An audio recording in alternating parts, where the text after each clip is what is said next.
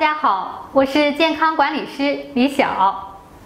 我们都打过喷嚏，知道这是着凉受寒的表现。还有人会在早晨连续打很多喷嚏，甚至是打几十个，根本停不下来。但是白天又好好的没事儿，那这是怎么回事呢？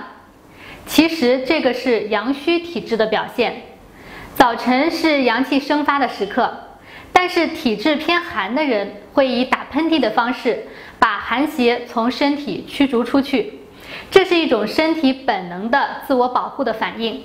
同时，阳虚体质的人还会比别人怕冷，手脚也偏凉，还特别容易感冒着凉。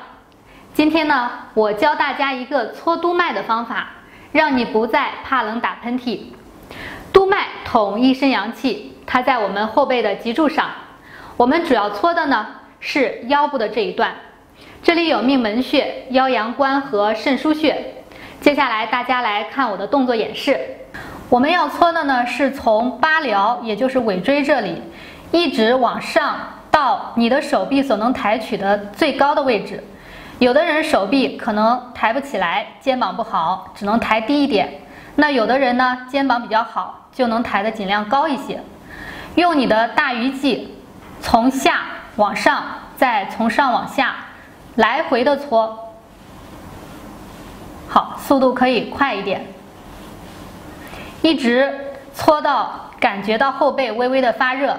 大概呢，每天我们在早上的时候搓十分钟，就可以达到后背发热的效果了。右手比较累了之后，可以换左手，同样用大鱼际。搓督脉其实也就是搓中间的脊椎，